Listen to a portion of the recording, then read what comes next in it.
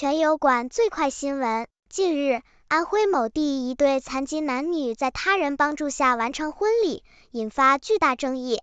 视频显示，男方精神二级残疾，女方智力二级残疾，两人为办理结婚登记手续。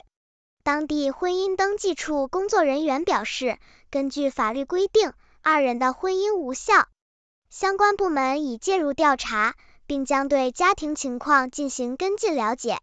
权威知情人称，双方家庭只是考虑到具体情况，试图让二人结合，并不存在买卖婚姻。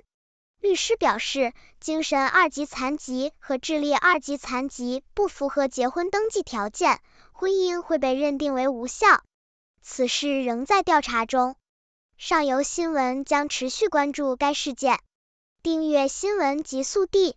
最先知晓天下事。